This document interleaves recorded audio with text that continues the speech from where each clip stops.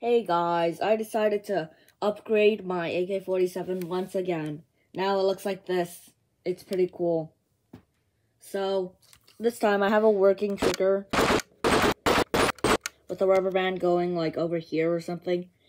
And the bolt, bro, the handle just fell. And the bolt,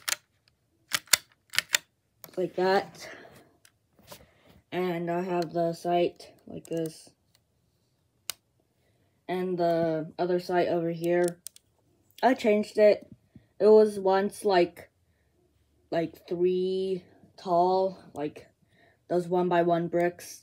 And then there's like one of these things on the top. But then I lost it when it when this thing shattered, so I replaced it with this, which I think is much better.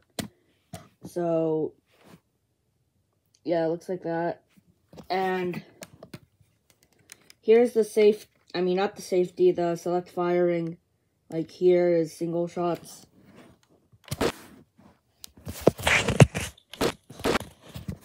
And here is full auto.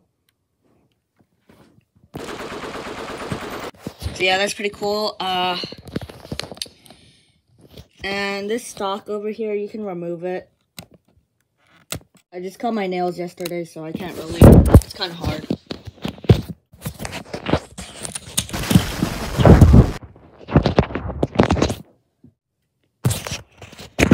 Okay, bro, so I finally fixed it. Uh, it's not very sturdy because I was at a friend's house and I broke it.